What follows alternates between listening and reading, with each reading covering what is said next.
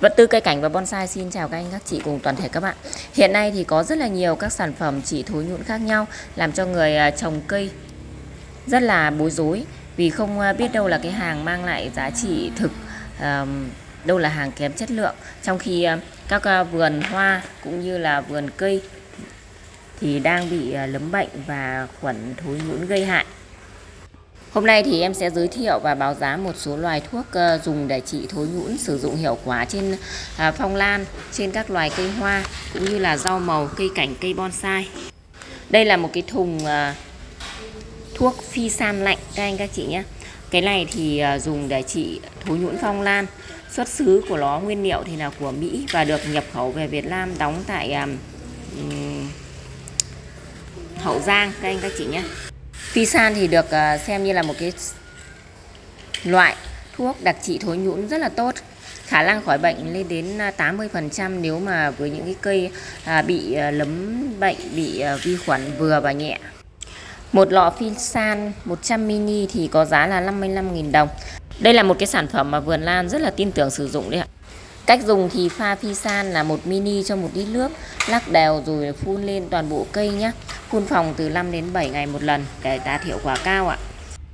Tiếp đến là cái dòng thuốc Captan của Thái Lan. Đây là một cái dòng thuốc mà các anh, các chị nhà vườn cũng sử dụng rất là nhiều.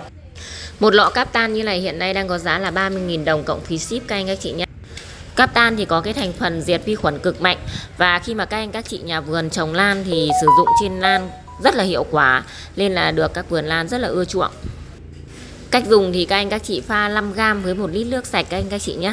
À, khi mà vườn lan đang bị bệnh thì lên ngưng tưới một ngày sau đó sẽ pha và phun thuốc trị thối nhũ này cho cây. Và chúng ta sẽ ngưng tưới nước cho cây đến khi mà cái vết ờ, khô thối nhũn này nó sẽ xe lại. Và 5-7 ngày sau chúng ta sẽ phun phòng lại nhắc lại nha. Ngoài phi san và captan thì bên em còn có diaro siêu vi khuẩn. Cái loại này nó là 20.000 đồng một gói dùng rất là hiệu quả luôn dùng rất là tốt. Và cái này thì thường thường sử dụng cho lúa này à, rau màu này bắp cải này à, ớt này cà chua thanh long. Và tiếp đến là, là cái sạch khuẩn. Cái sạch khuẩn này thì đang có giá là 16.000 đồng một gói. Và ở bên em thì có cái um, Stanler này. Stanler này thì cũng rất là được sự ủng hộ của các anh các chị này. Và theo nhiều cái nguồn uh, chia sẻ ở các vườn cây thì cũng sử dụng đến cái Staller này rất là nhiều.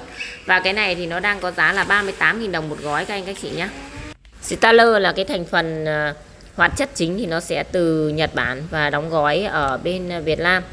Cái um, oxylic này thì nó sẽ có khả năng là diệt khuẩn cực là nhanh và nó mang lại cái hiệu lực rất là cao cách dùng thì các anh các chị sẽ pha 10g cho 10 lít nước, lắc đều và phun lên toàn bộ ờ, cây trồng.